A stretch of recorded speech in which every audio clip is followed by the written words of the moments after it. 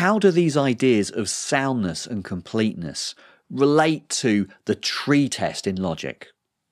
Let's find out.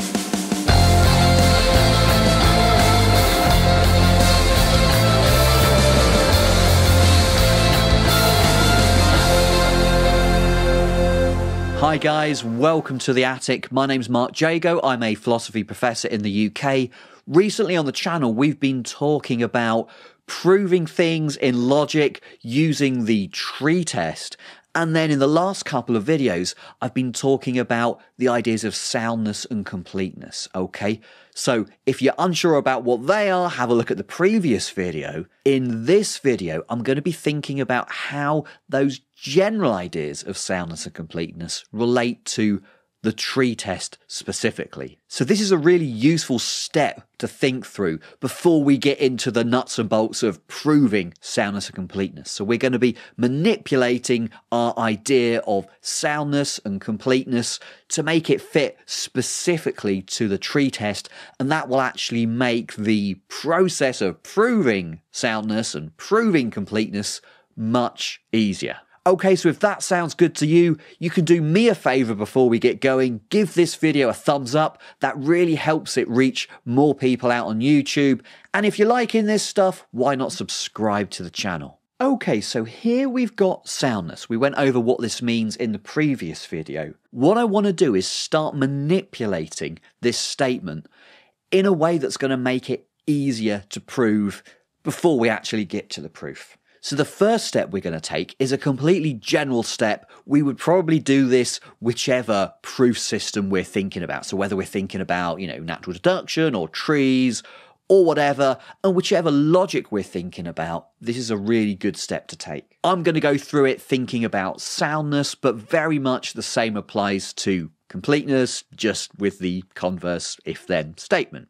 Okay, so we've got this if then statement of soundness it's usually a really good idea to think about proving the contrapositive. So, what do I mean by the contrapositive? Well, if we have any if then statement, if A, then B, its contrapositive goes like this if not B, then not A. Okay, that is the contrapositive of the original if then. So we've got to be careful to distinguish the contrapositive of an if then from the converse of an if then. The converse of if A then B just goes if B then A. Okay, so the contrapositive is the one that adds negations, whereas the converse just switches round the order of antecedent and consequent. Okay, so if this is soundness, this would be completeness, right? If this goes from proof to truth, then this one would go from truth to proof. So soundness and completeness are converses of one another. So that's not what we want here. We don't want to be jumping from soundness to completeness or whatever. We want to focus on one of them, either soundness or completeness. And what we want is a way of manipulating that statement that keeps it equivalent, but that makes it easier to get at and start proving. Clearly, the converse of a conditional isn't going to be equivalent to it. If A then B means something very different from if B then A. And it might often be that one's true and the other's false. But a statement like this and its contrapositive always have the same truth conditions. They're equivalent to one another. In the simple case of truth functional logic, just think about what the truth table for this looks like. It rules out the case when A is true and B is false. This rules out the case when B is false and A is true. So they've got the same truth table. That's why in the simple case of truth functional logic, they're equivalent, but pretty much they're going to be equivalent in whatever logic we're looking at. So, pretty much whenever we're trying to prove soundness or completeness, we're going to do as the first step taking the contrapositive. So, in the case of soundness, that would go like this. Okay, so here I'm writing a line through the symbol, like a kind of a slash through the symbol, to say it doesn't hold. So this symbol means entailment. So here I'm saying the entailment doesn't hold.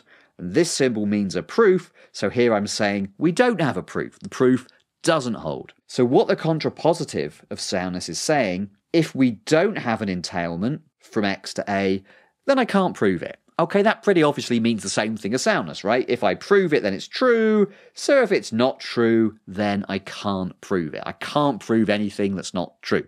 So if I do prove it, then it is true. So these are equivalent.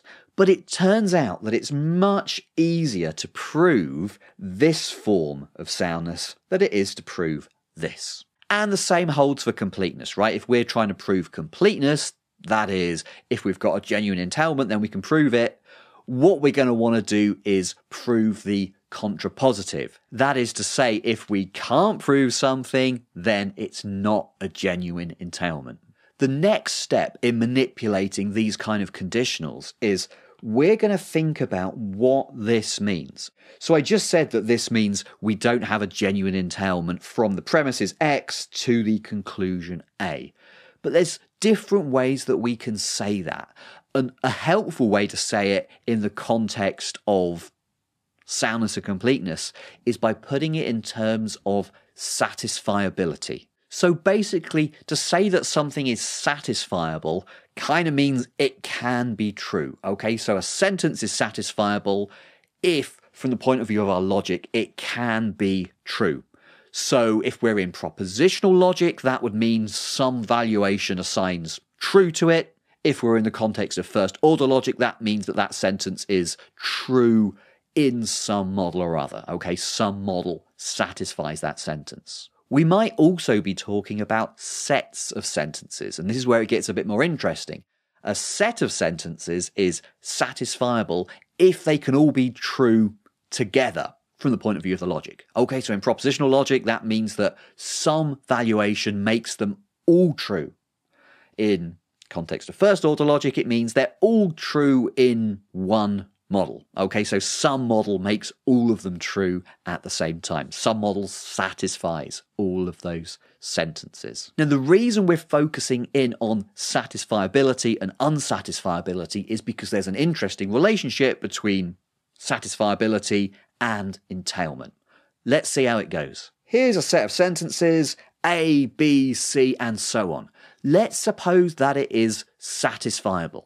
Well, that means all of those sentences can be true together, okay? So some valuation or some model, depending on whether we're talking about propositional or first order logic, is going to make all of those sentences true at the same time. So let's focus on propositional logic. We've got a valuation. Let's say that V satisfies this set of sentences. It makes all of them true.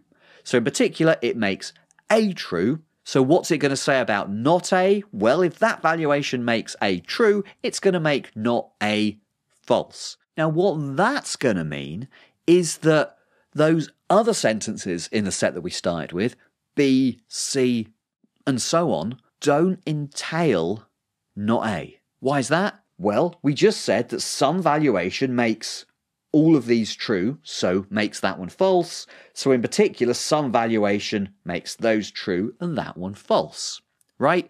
And if something makes those true but that false, then they don't entail that. Now suppose we swap A for not A. So let's just put in a negation here and let's take out a negation there because basically a double negation would cancel out. So what's going on now? Not A plus B, C, and so on, if they're all satisfiable, then those sentences B, C, and so on don't entail A. So we've got this relationship between a failed entailment from the premises to the conclusion and those premises plus the negation of the conclusion being satisfiable. If the premises plus the negation of the conclusion are together satisfiable, then we don't have an entailment. Or going the other way, if that set turned out to be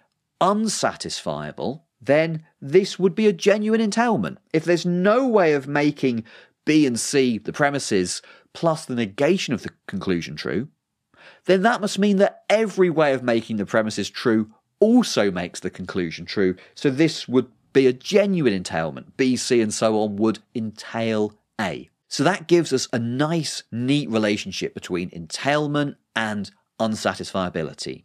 or going the other way between satisfiability and failed entailment, right? If the premises plus the negation of the conclusion is satisfiable, we don't have an entailment there. Okay, so how does that help us out in the case of soundness or completeness? So here we have a statement about a non entailment, so we can relate that to satisfiability of the premises and the negated conclusion. Okay, so we've dealt with this bit in the antecedent. Let's have a think about this bit in the consequent. And at this point, you might have an inkling of where we're going because here we've got the premises and the negated conclusion. And if you're familiar with tree proofs, you know that we deal with listing out the premises and the negated conclusion. So we're now going to be expressing this in terms of premises and negated conclusion. If we don't have a proof from premises to conclusion, that means we list out the premises and the negated conclusion, and that tree is guaranteed not to close. Okay, it's gonna stay open.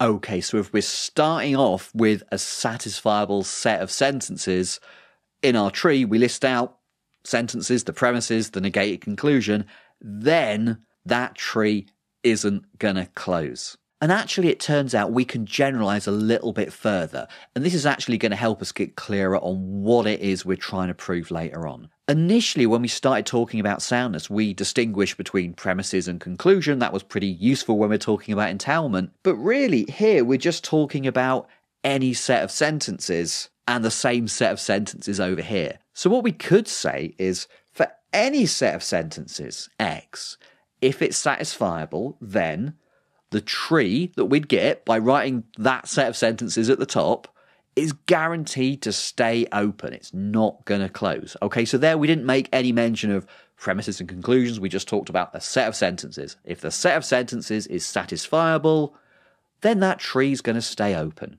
And a particular case of that is the one where we think of one of those sentences as the negated conclusion and the rest of them as the premises. So this is a general thing that we're going to prove, and a specific case of it will be our statement of soundness. So when we're going on to establish soundness, when we get onto the details, what we're going to try and prove is if you give me a satisfiable set of sentences, then I'm going to show you that the tree that starts with them is guaranteed not to close. So, one interesting thing that we've seen here is that, in some sense, the tree test is at its heart a test for unsatisfiability. Okay, if we list some sentences at the top of our tree, we don't have to think of them as premises and conclusions.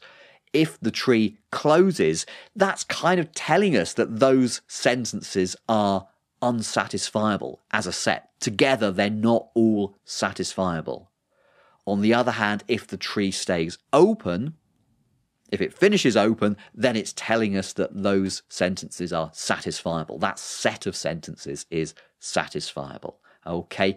And as a special case of that, we've got the case where we're listing out premises and the negation of the conclusion, and that's telling us about the entailment or not from premises to conclusion. So, very similar in the case of completeness. Here's our original statement of completeness going through the same steps that we looked at before, we've got if the tree doesn't close, then the sentences at the top of it are satisfiable. And just like we did before, we can actually generalize from that by erasing the distinction between premises and conclusions. We can prove the slightly more general result that for any set of sentences you like, if the tree that starts with those sentences doesn't close, then that set of sentences is satisfiable. Okay, guys, thank you so much for watching this far. What we've been looking at here is conceptually manipulating statements of soundness and completeness. And I guess there is two good reasons for doing this. It kind of is good to be able to switch around and manipulate these concepts. That's just good for our logical brains, our logical learning, but also it makes life easier when we actually get on to the main bits of the soundness and completeness proofs. So I'm going to be covering that in subsequent videos. I hope you stick around for those. If you want to know when I release those, subscribe to the channel and hit the bell icon. If you've enjoyed this video, give it a thumbs up. That really helps me out. And if you've got any questions, leave me a comment down below. And I hope to see you back here soon.